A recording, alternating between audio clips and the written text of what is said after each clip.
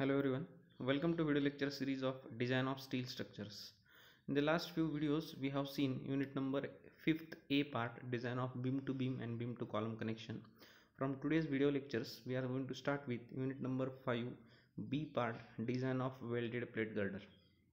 So already in unit number 4th that is design of beams or design of flexural members we have seen the design steps the design philosophy uh, the force transfer mechanism in case of flexural members or beam members. So this particular unit unit number 5 will be in similar with unit number 4 only the difference between the design procedure or adoption of your cross section is as the girders are subjected to certain heavy loading the cross sections are not readily available and these particular sections are to be fabricated in shop. Therefore the plate elements are converted into uh, your sections or uh, I type of sections and they are termed as your plate girder. As these are the combinations of welded plate element and the difference to understand between rolled sections and your welded section is in case of your rolled section the edges are rounded one while in case of plate girder the edges are square type of edges. As these are fabricated in fabrication shops with the help of uh, plate elements. So we'll see short introduction to these welded plate girders. Now actually in this particular figure you can understand the cross section. Somewhat the cross section is similar with your eye sections but certain additional plates are added or attached to the cross section. That is in between your flange plates and between your web plate certain stiffeners are adapted so usually what is happening in case of your uh, design of flexural members your flanges are designed to carry the bending moments while your web portion is used to design or to transfer your shear forces or the concentrated load. So vertical web portion transfer the shear force and flange plate takes the load of your bending moment or takes the bending moment and that transfers to your uh, supports. So in case of your plate girders we are intentionally making the web to fail or to buckle so as to improve the economical constraints of your plate girder so usually what is happening if the web is running throughout the span and if higher amount of web that is your ratio of web in case of classification of cross section we have seen web is classified as d divided by tw value and certain limitation is given based on the class whether either plastic semi compact compact or slender. Usually if this ratio d by tw is less than 67 epsilon in that cases your uh, buckling shear buckling check is not required. In short your web is going to be plastic.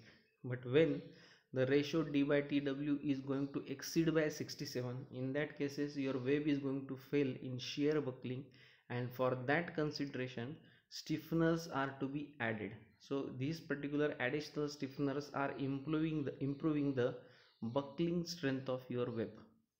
So short introduction to it. Beams of long span subjected to heavy loads required in case of bridges and buildings. So these members are subjected to heavy loading. And examples are bridges and your buildings for those beam available rolled section may not be sufficient even after strengthening with cover plates. So usually the highest cross section available as per is uh, as per your steel table is up to is wb 600 so beyond this also uh, they, uh, this also there may be requirement of plastic section modulus and this plastic section modulus is now insufficient to transfer the moment and forces. In that cases additional plate elements are used and they they can be provided at the top flange and bottom flange. But then also if there is limitation in that cases directly the entire cross section is fabricated in the workshop as per the requirement of plastic section modulus. Already we have seen this in case of flexural members your maximum bending moment acting on the cross section. So that we are equating uh, with the design bending strength and we are calculating the requirement of plastic section modulus so for that required plastic section modulus if available uh, rolled sections are not possible we are fabricating the section. So for that cases only or in such cases only girders are fabricated by using flange and web plates as per the requirement and connected by welding. So usually at this particular junction they are connected by welding. So the depth to the web, web to the uh, depth of web to uh, thickness of web ratio maybe up to 400 so as you are increasing this particular ratio from 67 epsilon to 400 you are failing your web section. In short you are making your web thin. And as you are making this web thin it is going to fail. But it will be a economical section if that particular disadvantage will be overcome by providing your stiffeners so because of high ratio to buckling of your web becomes major problem in case of this girder. So same thing is explained. So to overcome this problem different types of stiffeners are provided. So try to understand this cross section. So this is the cross section. This is elevation along the length of beam. So these are your bearing or supports. So this is flange plate. Again bottom flange plates. Now these vertical and horizontal lines double lines are called as your stiffeners so for example initially we'll start with the end. If the stiffener is provided exactly above the support if the stiffener is provided exactly above the support it is called as end bearing stiffeners. And in short it may be noted as EBS end bearing stiffeners when it is provided exactly at the support. So two types of stiffeners we, we are observing here at the end or it is exactly above the support it is called as end bearing stiffeners. And usually end bearing stiffeners are provided from both the sides of your thickness of web. So in short it will be provided on either sides of web. Now next is nothing but all other stiffeners other than your end bearing stiffeners. All other stiffeners other than end bearing stiffeners are called as your intermediate stiffeners. So these all intermediate stiffeners along the length of your uh, beam along the length of your girder will be called as intermediate stiffeners. So usually some additional stiffeners may be provided where certain concentrated loads are acting on the beam. So in order to carry this extra concentrated load there may be stiffener provided and it is called as your load bearing stiffeners. It may be called as your load bearing stiffeners. In short it is noted as LBS correct? So all the stiffeners are called as IS intermediate stiffeners the end provided are called as end bearing stiffener and if additional is provided below the concentrated load it will be called as your intermediate stiffeners. Similarly some stiffener may be provided horizontal in order to carry the load of transverse forces acting along the girder. So for example this particular girder uh, this particular stiffener is acting parallel to length of beam and it may be uh, provided in order to carry the transverse forces. In some cases due to some application of brakes of cranes there may be certain transverse force acting on the cross section and in order to take that cross sectional load these longitudinal or horizontal stiffeners are provided. So here we have seen initially the cross section. Cross section is the combination of flange elements and vertical web element which is welded then next we have seen end bearing stiffeners which are provided exactly above the supports. Next we have seen intermediate stiffeners. So all other stiffeners other than end bearing stiffeners will be coming under the category of is and if additional stiffeners are provided below the concentrated loads this will be called as your intermediate or load bearing kind of stiffeners. So these stiffeners are nothing but in short these are the small plate elements and we are getting economy as your web is running throughout the length of uh, span of your girder. So if you are saving the material for that particular thickness of web it will be economical economical for your cross section. Now these are the design specifications for plate girder according to is 800 usually the self weight is assumed approximately total load divided by 200 this is the value in kilonewton per meter for self weight and in case of economical depth initially moments are carried by your flanges. Therefore what we have taken we have considered moment is nothing but your yield strength fy into bf into tf and it is spaced at a distance of d. Therefore this formula is written. So bf into tf is the area into fy is the stress value into d it is spaced at a distance of d. So this d will be the depth of web correct. So area for flange may be calculated using this. And economical depth is calculated by certain coefficient k. So k coefficient is defined as d by tw ratio. That is web buckling ratio. Overall uh, depth of web itself only depth of web divided by thickness of web equals to k value. So that k factor is decided initially depending upon the requirement of your stiffeners what is the requirement of stiffener? According to that k factor will be decided and k factor is d by tw ratio. So already up till now in unit number 4 we were limited with d by tw ratio less than 67 epsilon only. All that values those we have adapted for unit number 4 in flexural members your d by tw ratio was compulsory less than 67 epsilon. But that was somewhat subjected to light loading in case of girder now when it is subjected to certain heavy loading you need to revise this d by tw in short you can observe the ratio. D by tw is nothing but if at the denominator 67 is put or certain greater value is uh, put you are getting thickness of web as less value. So as you are going to increase the ratio there will be decrement in the thickness of web and hence we are achieving the economy. So as there will be reduction in the thickness of web there will be greater tendency of buckling. And as the tendency of buckling is greater your requirement of stiffeners is also greater. So this d by tw is selected according to code. So these are some of the codal provisions you can observe. You can just check clause number 8.6 design of beams and plate girders with solid webs and according to serviceability requirement.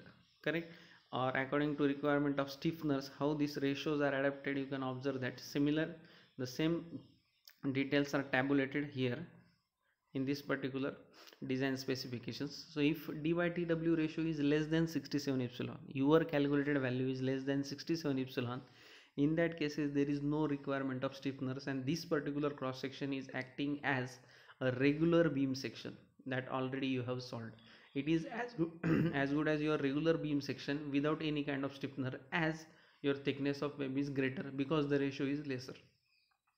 Similarly in second condition if you are adapting d by tw ratio between 100 to 200 100 to 200 in that cases there may be requirement of your end bearing stiffeners.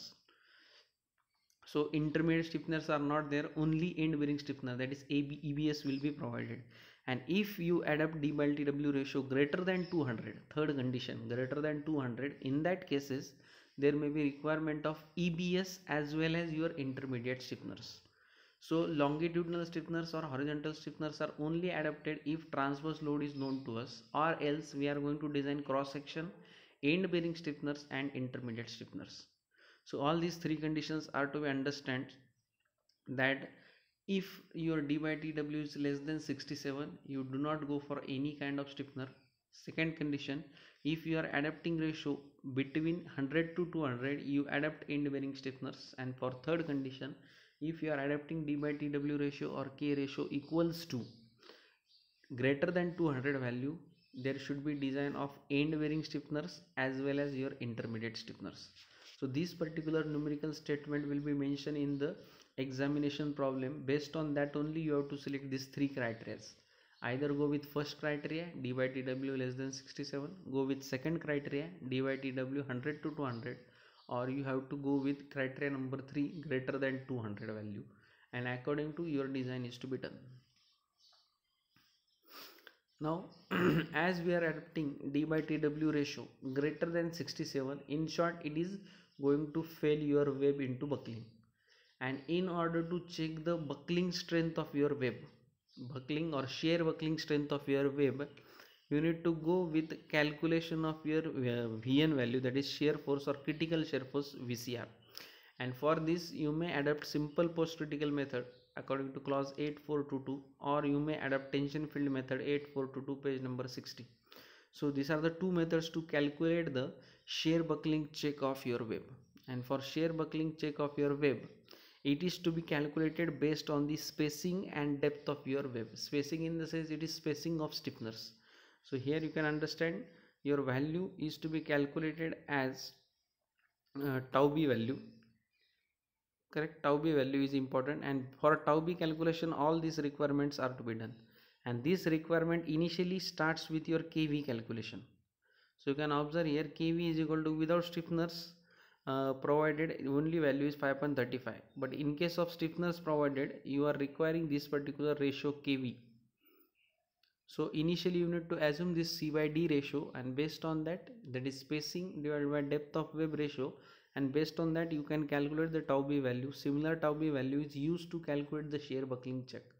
If your section is going to satisfy this condition then it is good for your shear buckling condition. If not then requirement of stiffeners will be there for remaining pores. So actually these calculations we are directly going to cover in case of your numerical problems. Now here curtailment of flanges stiffeners and your connections. So there are the steps additional steps required in case of design of plate girder. So curtailment of flanges is nothing but already we have seen flanges are used to support the bending moment or in short flanges are designed to carry the bending moment and we know that bending moment usually in case of simply supported girders is zero at support and it is maximum at the center span. So the requirement of greater thickness of flange is usually at is at center only. Suppose you consider example of uniformly distributed load acting on a simply supported span. Maximum bending moment will be wl square by 8 which will be acting at the center. So the thickness of flange required to carry this bending moment is at center and not at support. So in short you can reduce the thickness of flange towards the supports so that there will be economic. And that particular concept is called as your curtailment of your flanges. In short you can reduce the thickness of flanges now, stiffeners are to be checked for buckling resistance, bearing capacity, torsional resistance and all these clauses are explained here. Similar clauses we are going to directly cover in case of your numerical but in case of design you need to understand here two types of figures I have shown here figure A and figure B.